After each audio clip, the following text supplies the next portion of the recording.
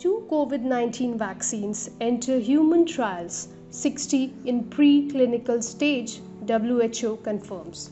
The World Health Organization has confirmed that two vaccine candidates against COVID 19 have entered into the first phase of human trials, and 60 other vaccine candidates are in the preclinical stage. As we know, vaccine development is a lengthy and expensive process, but there is a need for rapid development for a vaccine against the COVID 19, and pharma companies across the globe are racing against time to come up with a vaccine candidate.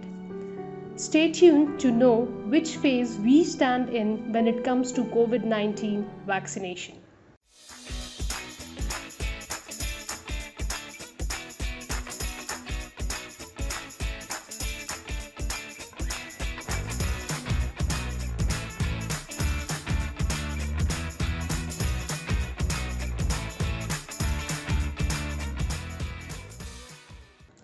The first vaccine entering human trials is from the Beijing Institute of Biotechnology and CanSino Biological.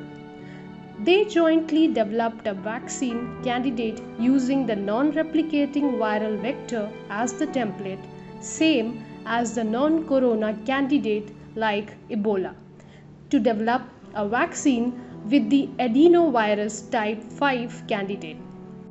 The second vaccine entering human trials is the lipid nanoparticle encapsulated mRNA candidate vaccine, a vaccine developed by Moderna and the National Institute of Allergy and Infectious Diseases has entered the first phase of trials.